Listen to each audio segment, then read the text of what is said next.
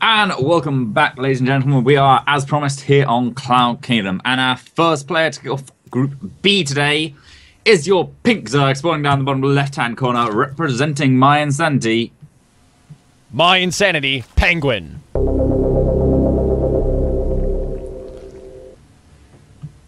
And his opponent already changed it up with the build orders, not necessarily mirror matchup as you would normally expect. It is your red Zerg player in the top right of Cloud Kingdom.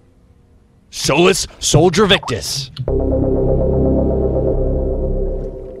So SoLJerVictus going for that spawning pool first uh, Mm-hmm. into hatch. Uh, is that a little safer generally?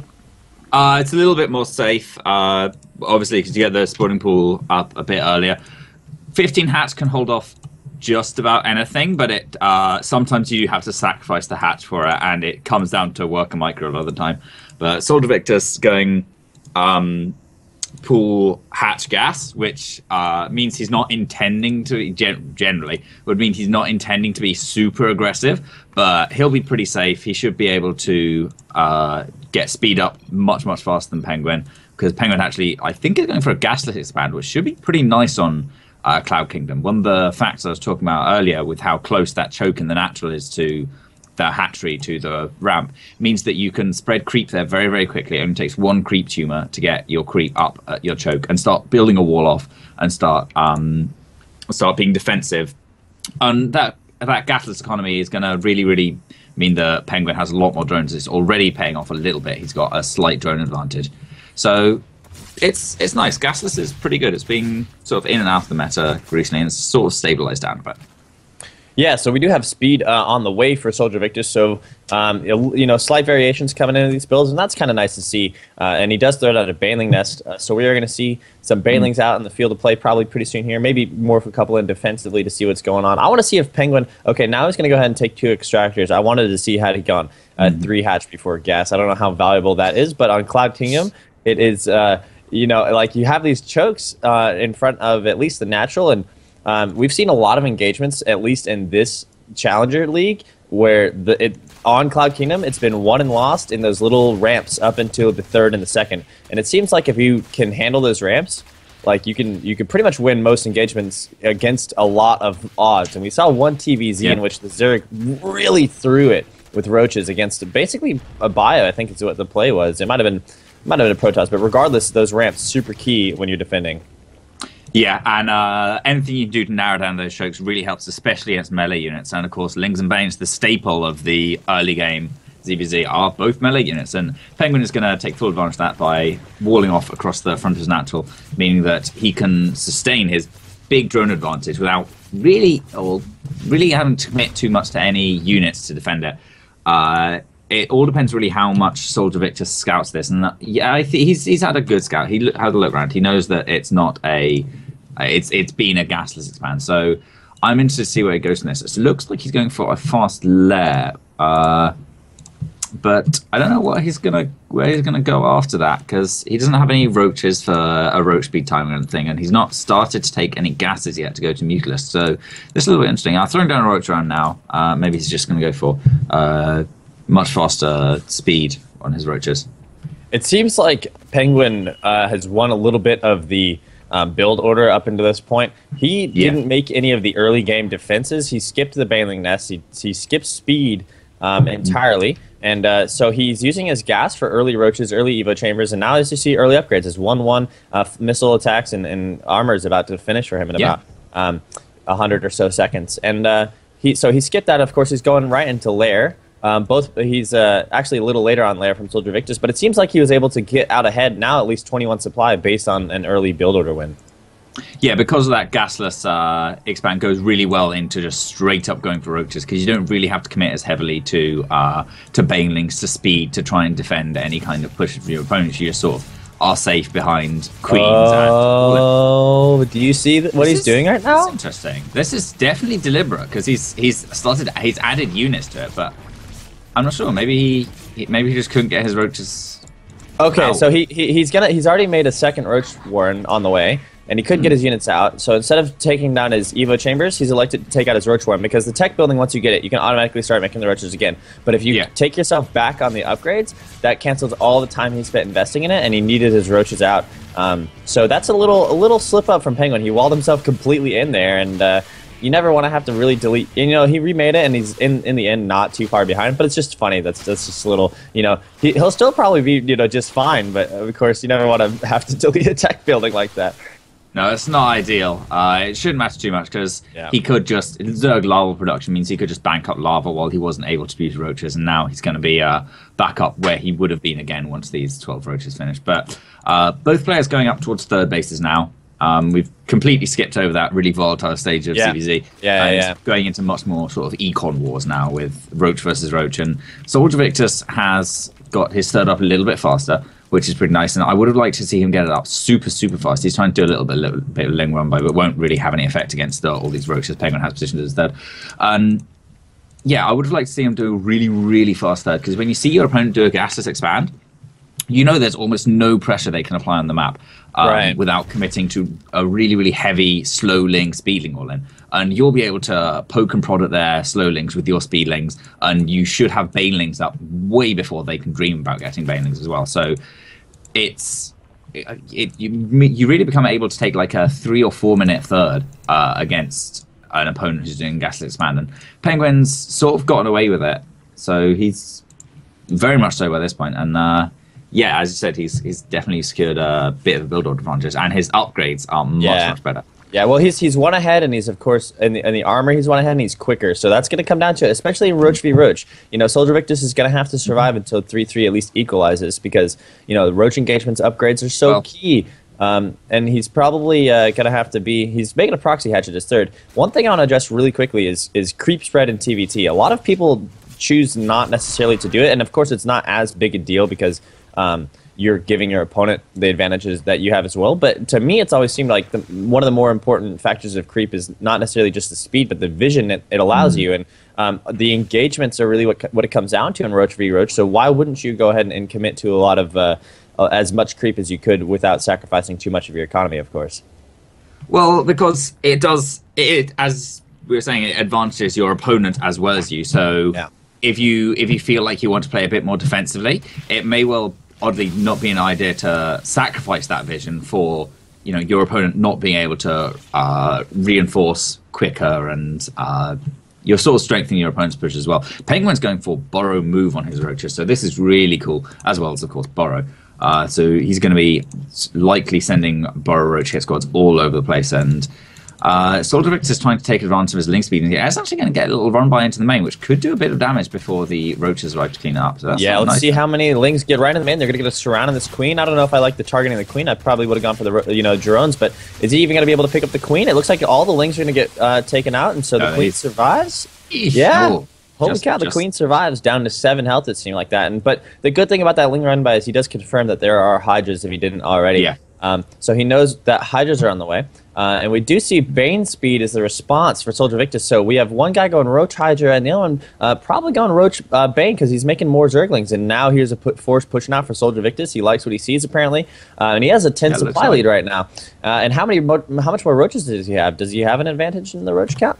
Uh, 46 oh yeah, to Soldier 28, Victor he does, yeah. A huge So- advantage in the roach count. the hydras are going to be what comes down to it, and of course the upgrades two one to two two on those roaches. So we'll see if an engagement is had. Currently, SoLJerVictus pulling back, and this game has kind of settled down, and both are really comfortable. Now the Banelings are coming in, and where do you see this going?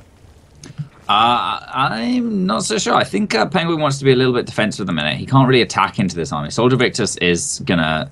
oh, Actually, he might. Oh, unfortunately, he's out of position. So this little Burrow Roach play uh, is gonna get through. But oh my god, it trades for so many banelings. I think that was actually even worth it for PengWin. Yeah, uh, a lot of gas. banelings on roaches actually cost the same amount of gas, and roaches Yeah. only cost about uh, yeah 25 more minerals. So they're very very close in terms of how much they cost. Soldier Victor is producing a lot of lings. He's going to have a huge uh, Baneling swell and going to try and bust through the roaches, the hydras that way. And he does have a. I feel like he has a stronger army, but PengWin has a nice concave up this ramp, although his hydras are a little bit for, forward at the front. And yeah, both players have equalized their upgrades on 2 2 because, of course, Hive is that big barrier for Zerg for 3 3. Yeah, and it's just on the way now for both of them. Yeah, both of them have started out roughly evenly, but here we get here we see the big swell of banelings coming from Soldier Victors. 23, not the hugest number ever, but I don't know. I think it could well be enough to bust through certainly a, a flank or the middle of this uh, army PengWin. Yeah, we But do see minute, Burrowed he's definitely more Roaches. about defending home. Yeah, we do see Burrowed Roaches making their way to the fourth or the third rather of SoLJerVictus, and, and you know getting some damage on, get, taking off two queens, but not really going for the heart of the drones. There, as these banelings with baneling speed are rolling right across, and well, there's a Zerg, uh, the creep coming into play for them. They are going to get picked up uh, by what appears to be lings in the middle of the map, and a couple of go off, or those are roaches rather. So the banelings going down on all the roaches in the cap, and were they worth the trade and gas? I don't know. Uh, SoLJerVictus has a really good concave here at the top of the ramp. PengWin pushing up, trying to make an engagement happen, but you know rightfully knows that that's not the best place to take an engagement. Turns around, Hydra's in the front of this army, not doing too well. SoLJerVictus is going to split, and now he pushes the engagement advantage. He thinks he's got it, so he's pushing in. PengWin's supply seems to be plummeting, all the Hydras are gone essentially. Yeah, bit of a sloppy engagement from PengWin. He took a good trade against those Banelings, but then uh, tried to dive too hard. And Soldier Victors uh, saw an opportunity and absolutely went for it straight to the throat. And PengWin, PengWin is not looking in the best position. but Actually, he's got some roach reinforcements that should be able to at least whittle down this army uh, for Soldier Yeah, these so that when the next are- wave of reinforcements come in, I think he can take it. Yeah, here we go. 123 to his 189 third, though. applied. Now he's pushing at the third, and if he loses his third, that's almost game over. You can't go against four base Zerg against, you know, just even if you don't have the econ in terms of the larva production to make it into the late game, he does lose the third. He's not going to be able to risk it. Now he's getting taken on both sides. The flanks are real. More lings coming in, and GG is called. SoLJerVictus take.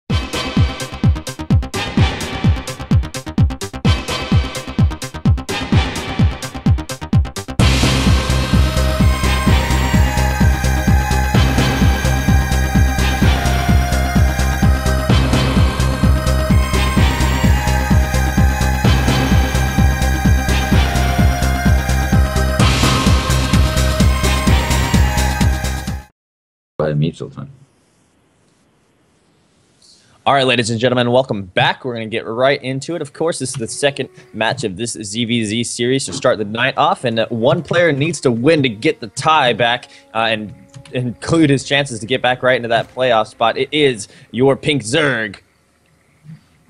My insanity, PengWin.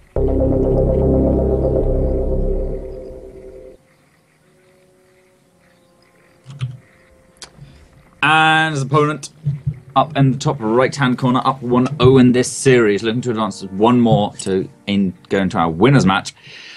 It is. Solus Soldier Victus.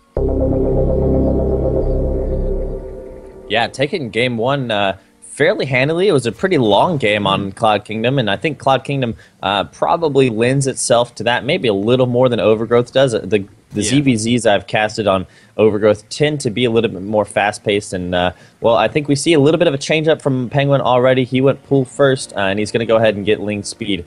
So uh, changing it up, not not happy with the way things went last game, and already making adjustments to his style. Yeah, I guess so. Uh, getting that ling speed allows for a lot more aggressive opportunities in the early game. Um, and he's going for six lings as well. It's quite a heavy commitment, so he's definitely looking to get some kind of damage done here.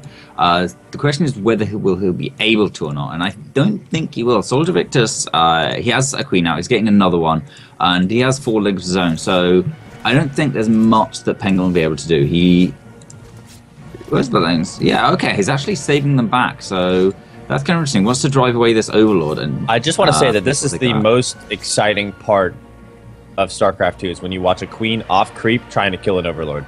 It doesn't get much more micro intensive than that. Uh, yeah, no, you're right. It's uh, I just find it depressing how you watch queens go off creep and they chase down an overlord and they chase down the overlord because overlords are so slow and they Slower. had their speed buffed once. Yeah. Uh, yeah, PengWin's producing a big swell of lings to, to stop talking about the, how stupidly slow overlords are. Uh, PengWin is definitely going for some kind of uh, aggressive maneuver. His speed finishing up is just about in sync, but Soldier Vic just has a nice little uh, bit of Sim City going down his natural uh, with the Bane Nest and the Spine Crawler all blocking. And here we see the move out from PengWin. I'm pretty sure SoLJerVictus saw that. He had two overlords in position, so he definitely should have. And yes, SoLJerVictus isn't actually responding to it yet. No. Oh, he doesn't have his Nest. He's trying to move his queens into position, and these are some pretty good positions on the screen, protecting the spine crawler very, very nicely, as well as having. Uh, actually, yeah, he can just go straight for the main. There's nothing stopping him doing that, and get fighting excellent surround on all the drones. Two of them going to go down immediately, killing off a lot of the lanes, killing off a few queens as well, fighting out range of that spine crawler as much as he can. And now he's getting straight into the drone line in the main, and a lot of drones are going to go down there. Oh, this looks really bad for SoLJerVictus, and you know what? He's gonna do his best here. He's gonna have to micro his drones. I guess it's never the best idea, but now he pulls and he's gonna run. And man, it looks like PengWin's gonna go ahead and probably take game two. Now more speedlings on the way for SoLJerVictus to finally dissuade uh, further aggression from PengWin, and uh, he's got speed finished up just now, so you know he's gonna be able to dissuade them from further uh, aggression. But you know, too little, too late for that one because that went heavily in the favor of PengWin. Yeah, SoLJerVictus got reduced down to seven workers at the end of that. Total workers killed 16 in favor of PengWin. And SoLJerVictus really sort of has to make something work with. Yeah. Yeah, with he what he has now with his lings, he has to do a lot of damage to PengWin, and PengWin has Banelings ready. He has. Oh, they're uh, waiting a at the top of the ramp. lings on way. They're waiting Oh, at the top of the God. ramp, and bang, bang! That is Jesus it. Christ. GG, SoLJerVictus. Uh, Oh my PengWin God. ties score up. on-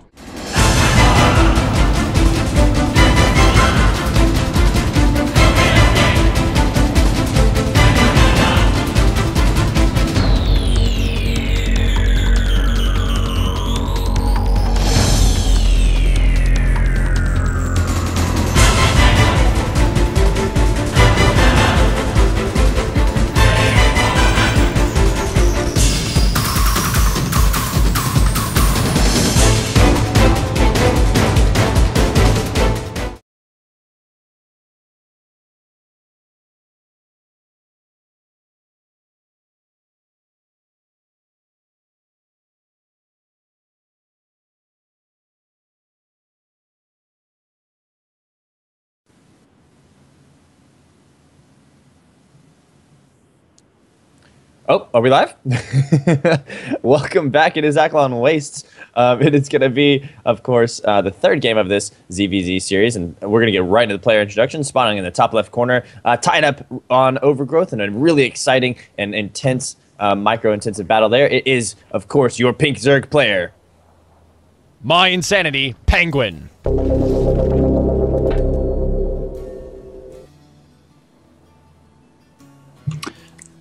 And his opponent fighting to advance on from this game. It is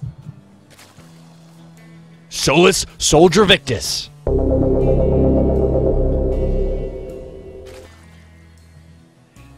Yeah, these two trying to get into the winners match, of course, Yeah. and um, uh, you know an option to get into the playoffs. So uh, you know, the sooner you can do that, the better. And uh, you know, if uh, you have an early night in these nights, it seems to be, of course, a better option because if you're not, you're gonna have to go into the consolation match, and that means you're gonna have to play three series of StarCraft over a long period of time. And I feel like that's the that's the marathon version of events if you want to go that route. Yeah, especially if you're like PengWin's on Swiss time, so he's I think an hour ahead of me even. So right now it's five a.m. and he could be playing till like uh, six or seven a.m. Yeah. Um, if he goes onto that that long, like having to play three games. So uh, both players actually got lings into their opponent's main, and neither of them got really much damage done with them. Soldier Victor's actually losing one to PengWin's Queen. But I'd expect both of these lings to. Oh, actually, these one PengWin's. No, they shouldn't be able to get done. Maybe they have speed. I always assume uh, slow lings are much more dangerous because uh, I'm used to lings with speed most of the time. Oh, they are Ooh, going they to are gonna get a drone, that's nice. though.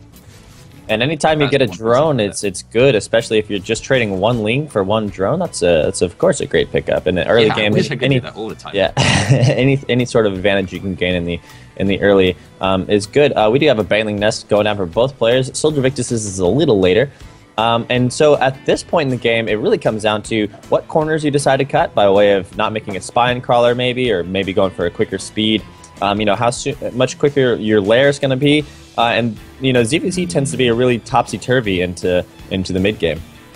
Yeah, and I think PengWin's going to go for Mutalisk there. He's uh, he's going for very very He's going fast for two base two base mutalisks, isn't he? Uh, yeah, much more. Com- that's Yeah. pretty standard in ZVZ. Uh, you generally don't see three base mutalisks. Like you won't, don't see fast three bases unless you're Right. one person's doing a gasless and the other person is responding to it with macro. Right. Um, yeah, this is this is sort of what typifies uh, uh, Mutalisk in ZVZ is uh, two bases. They start their lair with Usually they're like somewhere within their first 300, 3 or 400 gas, and then uh, they take the rest of their four extractors very shortly after putting their Yeah. down. So PengWin's banked up enough uh, gas for his Spire. There it goes down, and we're going to see him continually banking gas uh, until he finishes his Spire. Uh, SoLJerVictus is sending an Overlord in to Yeah. scout this. I just so to he- that. uh, I'm not sure whether he'll, he'll actually be able to see the spire because PengWin has cleverly put it sort of op- on the opposite side from where that would normally be scouted. But he will see the gas. It's whether he sees the gas natural is a bit more of a tell because the timing on those and them being taken, having been taken so early, is almost as much a tell as seeing the spire really. So the thing is, the thing with the Mutalisk players, uh, PengWin will be banking so much, so many resources that he'll be very, very weak to any kind of timing that hit before that. Luckily for him, though, it doesn't look like SoLJerVictus is uh, gearing up for that, but instead gearing up for Mutalisk of his own. And since PengWin is so much earlier, this puts him in really good stead. Yeah, it's going to be in his uh, stead if he's able to seize the advantage before Soldier Victor's Spire finishes, because of course, um, if it, it turns out that SoLJerVictus was joining a little bit more uh, behind this, and I'm going to go ahead and check the unit count to see if that's the case. No, he's actually down five No, workers. So actually- yeah, yeah. So you're right, and this is looking like to be a little bit of an advantage for PengWin. Um, if he can get out of this supply block, of course, three Overlords about to pop for him and get him right out of there. And the mutas are out, and he's of course researching um, flying armor um, level one. So what you you sound excited? What's the call? Yeah, flying armor is really good. I don't know why exactly, what prompted PengWin to go for that, but that's going to be fantastic in the Muta versus Muta battles because, of course, Mutalisks doing their bounce attack, they hit three times, uh, and the Flyer Carapace will take one damage off every single one of those bounces, which is much, much bigger than the attack upgrade. Oh my god, and Soldier Victor suicides two Banelings into rocks. Um, anyway, yeah, it's much much bigger than the attack upgrades because the attack upgrades uh, adds one to the first hit, 0.6 to the 0.6 occurring to the second hit, and 0.3 occurring to the third hit. So it really doesn't do that much. And yes, non-integer attack values do exist. Uh, Sword Victor's trying to go for a bit of a ling run by, and unfortunately, not really getting that much done. Whereas PengWin can start moving acro- on the map with his mutas, he can secure solid map control. He will be ahead in the mutalisk count pretty much indefinitely unless he, until he makes a slip up. Uh, start sniping a lot of Soldier Victor's overlords, and he will have to replace every single one of these. This is a really costly loss of Soldier Yeah, Victors. and it is pretty bad. SoLJerVictus uh, going for the plus one attack, so you know a little bit blind here, and of course he's going to pay for it as you're discussing about the armor, um, and that's pretty you know really specific stuff. It depends with mutas though, sometimes where you take the fight, and of course um, if you take it you know like over a spore crawler, or over queens, you know you can lose mutas, Yeah, yeah, you know, yeah. and sometimes the upgrades aren't going to really make a difference. So um, spores are going down for uh, SoLJerVictus. And of course, we do have a third getting taken as these lings here in the middle of the field are going to duke it out. And PengWin's just got ling numbers. He doesn't have, uh, you know, he's going to surround these queens. And with the mutas getting in here, this is going to be really tough for SoLJerVictus to, hurl, to hold 94 supply to 74 supply. We're going to see where this goes. He might be able to push the advantage and just win it here. Yeah, PengWin has taken down all of Soldier Victor's mutas. There's No one more queen left for anti-air, but that falls as well. And GG, PengWin absolutely dominate.